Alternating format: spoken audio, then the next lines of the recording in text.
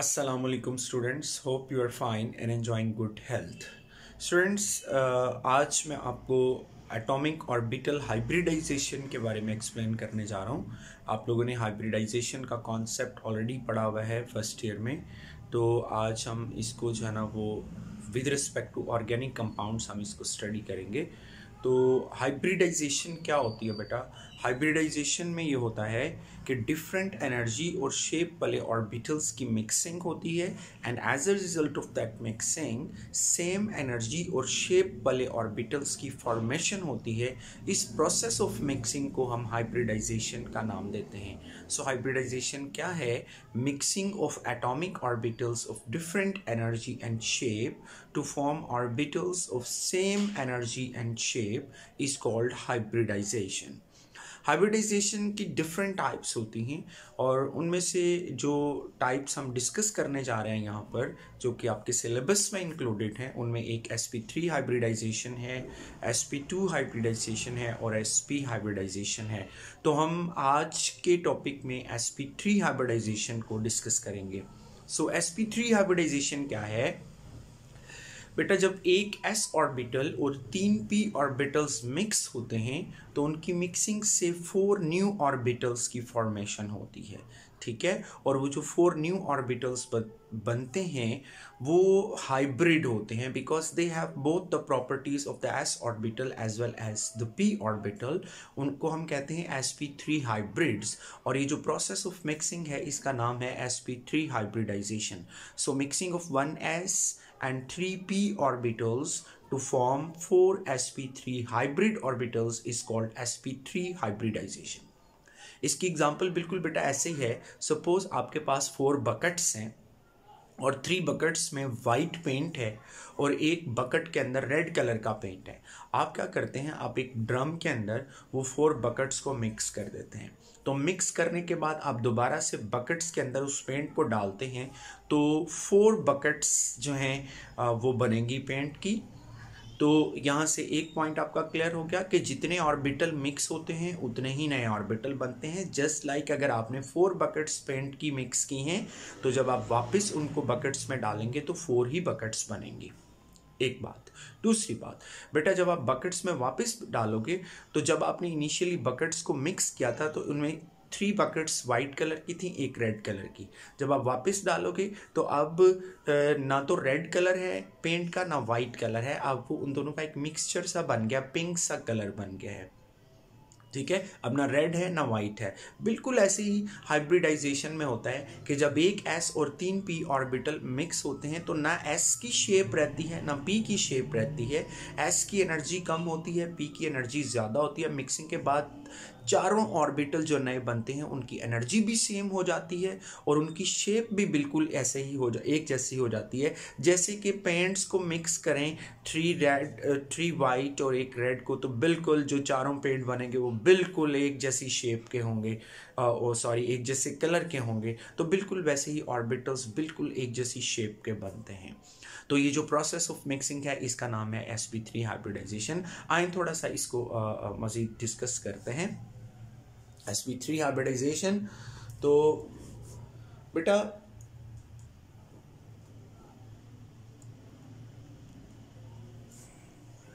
S P three hybridisation हम इसको इस तरह से लिखते हैं।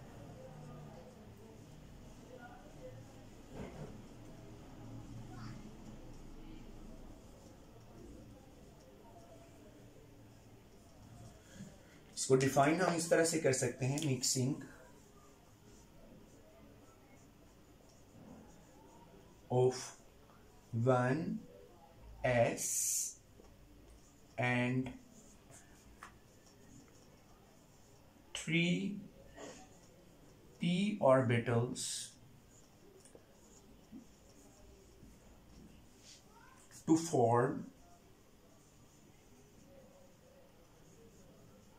4 sp3 hybrid orbitals is called sp3 hybridization.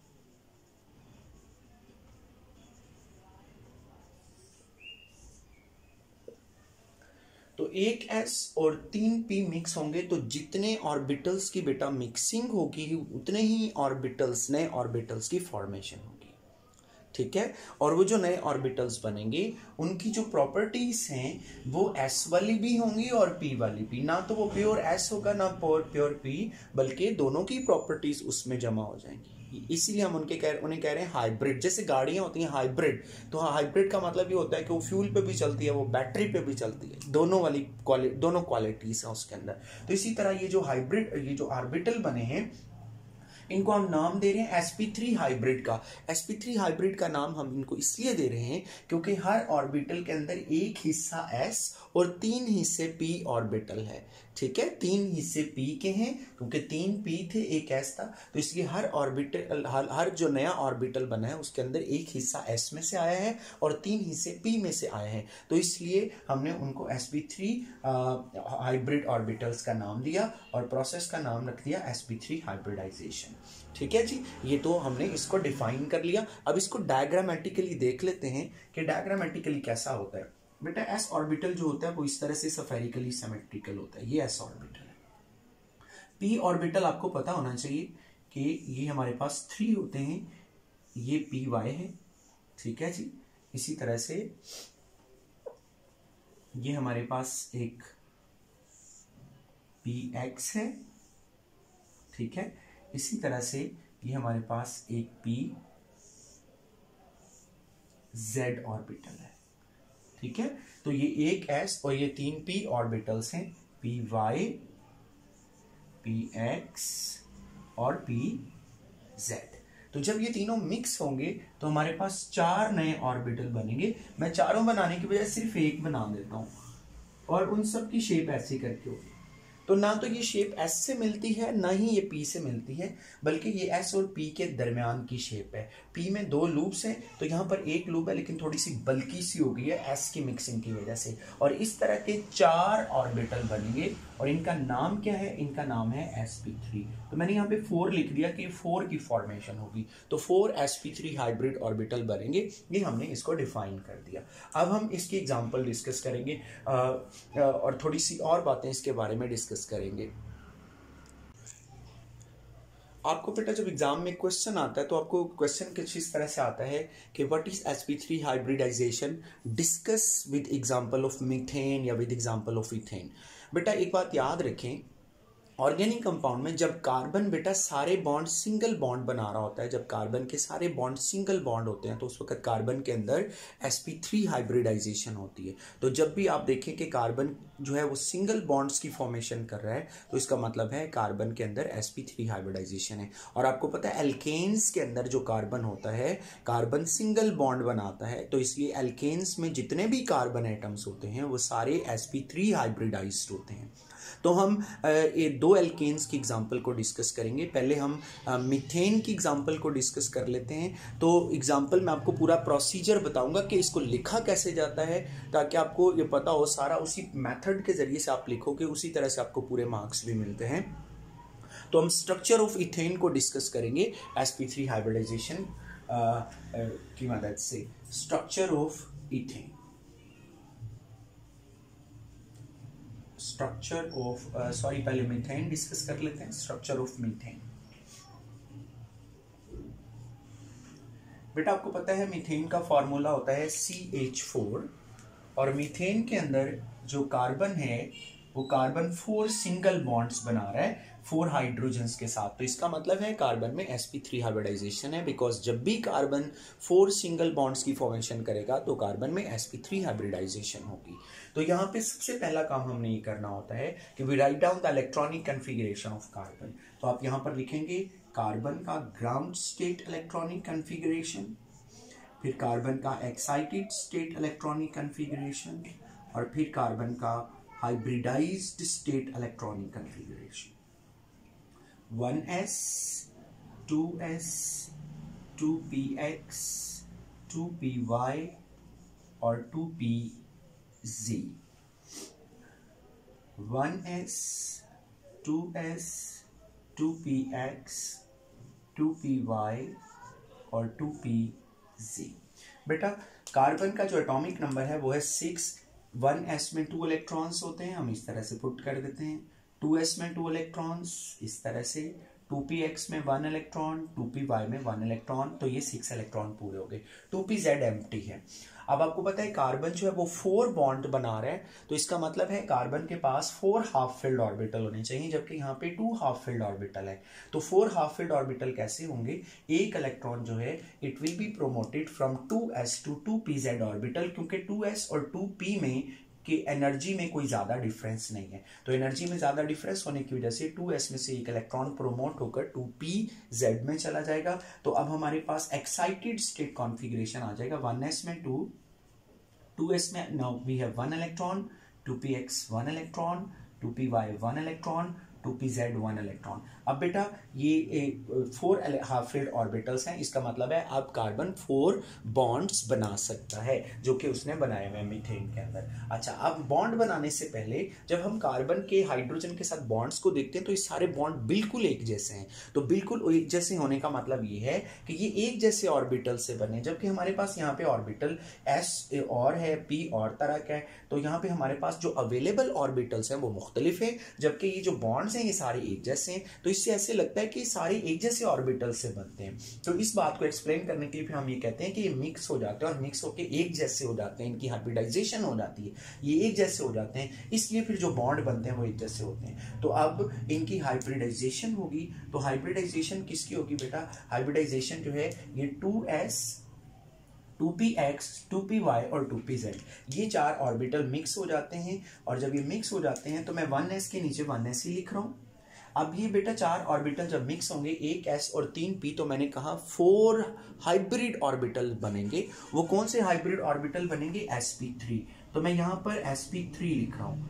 और ये sp3 ऑर्बिटल कितने बनेंगे? क्योंकि चार ऑर्बिटल मिक्स हो रहे हैं तो चार ही sp3 ऑर्बिटल्स की फॉर्मेशन होगी। तो ये वन टू ये थ्री और ये फोर sp3 ऑर्बिटल्स बन गए। अब बेटा ये जो इलेक्ट्रॉन इनके अंदर थे, वो यहाँ पर हाइब्रिड ऑर्बिटल में आ जाएँगे, क्योंकि ये ऑर्बिटल तो खत्म हो गए मिक्स होके। तो अब ये इलेक्ट्रॉन जो इनमें थे फोर वो यहाँ पर आ जाएँगे। अब बेटा ये जो फोर हाइब्रिड ऑर्बिटल्स हैं ये फोर हाइब्रिड ऑर्बिटल्स क्या करते हैं? These hybrid orbitals are directed towards the corners of a tetrahedron बेटा ऑर्बिटल के अंदर इलेक्ट्रॉन है ना? और इलेक्ट्रॉन में रिपल्शंस होती हैं तो इलेक्ट्रॉन रिपल्शन से बचने के लिए एक दूसरे से दूर जाएँगे तो इसलिए ये चारों ऑर्बिटल एक दूसरे से मैक्सिमम डिस्टेंस पर चले जाते हैं। और वो जो मैक्सिमम डिस्टेंस होता है, वो ये होता है कि टेट्राहाइड्रॉन के कॉर्नर्स की तरफ़ ये चले जाएँ। तो these four hybrid orbitals these four hybrid orbitals are directed towards corners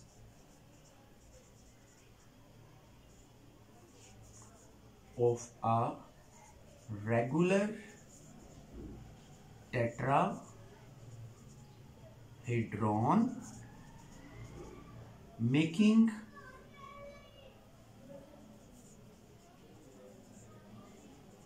an angle of 109.5 degree ये आप इंपॉर्टेंट बात लिख देंगे। यहाँ पर इंपॉर्टेंट बात है के रेगुलर टेट्राहीड्रॉन की शक्ल में होंगे। ये चारों हाइब्रिड ऑर्बिटल और इनका जो एंगल होगा, ये 109.5 डिग्री होगा। अब हम इसकी शेप भी देखते हैं कि वो शेप कैसी बनेगी मॉलिक्यूल की। तो ये बेटा कार्बन है और कार्बन के पास फोर हाइब्रिड ऑर्बिटल्स हैं। एक हाइब्रिड ऑर्बिटल हम ऐसे करके बना देते हैं। वो जो स्मॉल्स वाली लूप होती है, वो हम शो नहीं करते हैं। जो बिगर लूप्स होती हैं वो हम शो कर लेते हैं। एक इस तरह से, एक इस तरह से और एक ऐसे करके। तो ये चार हाइब्रिड ऑर्बिटल्स हैं। Sp3 इनका नाम है तो हम इनके अंदर लिख देते हैं ताकि हमें थोड़ा सा आइडिया रहे कि ये sp3 हाइब्रिड ऑर्बिटल्स हैं कार्बन के अंदर फोर और आपको पता है, हर हाइब्रिड ऑर्बिटल के अंदर क्या है? एक इलेक्ट्रॉन है। ठीक है? ये एक इलेक्ट्रॉन है। जो हाइब्रिड ऑर्बिटल के अंदर मौजूद है। अब चूँकि ये हाफ़ फ़ील्ड ऑर्बिटल है तो वैलेंस बॉन्ड थ्योरी ये कहती है कि जो हाफ़ फ़ील्ड ऑर्बिटल होते हैं, वो ओवरलैपिंग करके बॉन्ड बनाते हैं। अब होता ये है कि बेटा आपको पता है हाइड्रोजन जो होता है हाइड्रोजन का एटॉमिक नंबर होता है वन ठीक है? और इसका इलेक्ट्रॉनिक कन्फिग्रेशन होता है वन एस वन हाइड्रोजन के पास एक एस ऑर्बिटल होता है, वो भी हाफ़ फिल्ड होता है। तो हाइड्रोजन क्या करता है बेटा? एक हाइड्रोजन एटम आता है और वो आकर इस sp3 ऑर्बिटल के साथ ओवरलैप कर लेता है। एक इलेक्ट्रॉन बेटा हाइड्रोजन का और एक कार्बन का दोनों पेयर बनाते हैं तो बॉन्ड बन जाता है। एक हाइड्रोजन आकर यहाँ पर ओवरलैप करता है और यहाँ पर ओवरलैप करके वो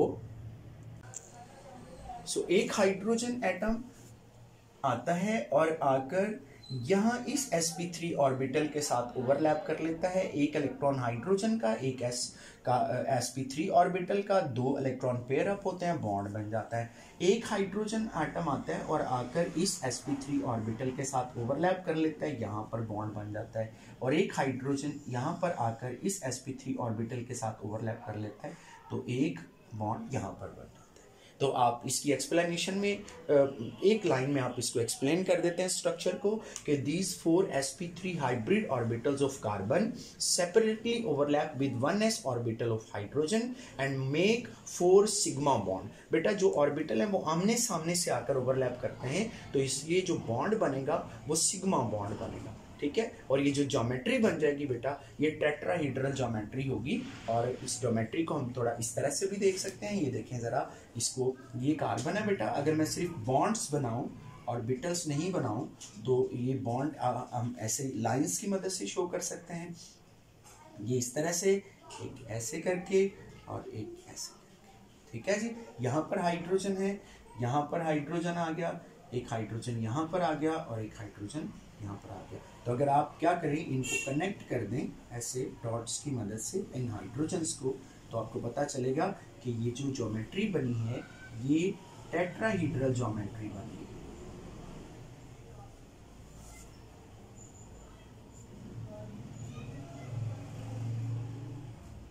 तो ये एक टेट्राहीड्रल ज्योमेट्री बन रही है और यहाँ पर ये जो बॉन्ड एंगल है, ये सारे बॉन्ड एंगल 109.5 डिग्री के बॉन्ड एंगल्स हैं।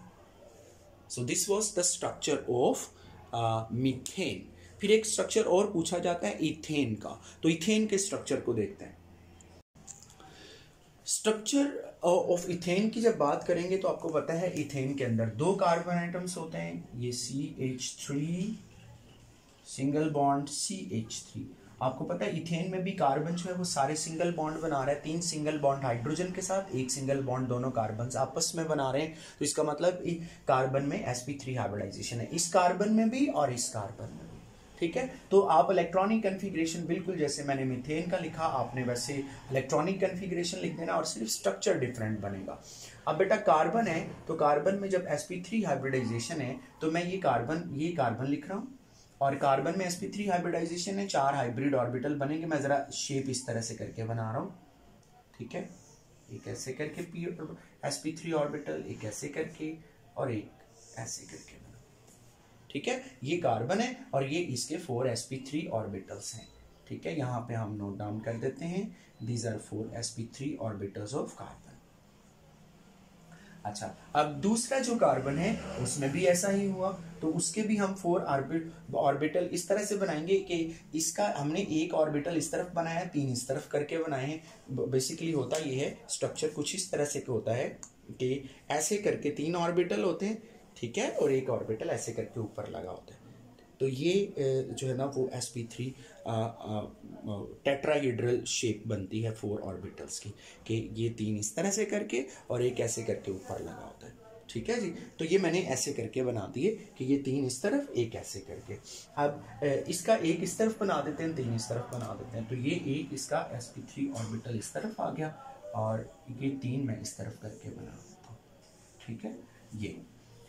तो ये इसके गए और आपको पता है sp3 ऑर्बिटल्स के अंदर एक एक क्या है? इलेक्ट्रॉन है।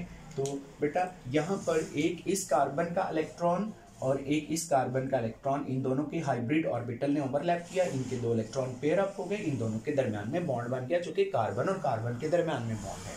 और बाकी के जो हाइब्रिड ऑर्बिटल्स हैं वो आ, मतलब इस कार्बन के जो तीन हाइब्रिड ऑर्बिटल हैं वो तीन हाइड्रोजन्स के साथ सेपरेटली ओवरलैप कर लेंगे। ऐसे एक हाइड्रोजन यहाँ पे सेकेंड हाइड्रोजन और यहाँ पे थर्ड हाइड्रोजन एक एक इलेक्ट्रॉन हाइड्रोजन का होगा दो दो इलेक्ट्रॉन बनेंगे तो बॉन्ड की फॉर्मेशन हो जाएगी।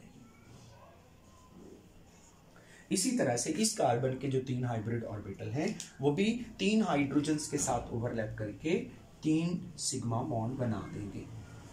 तो यहाँ पर ये मैं हाइड्रोजन का ऑर्बिटल ऐसे लाइक दिस लाइक दिस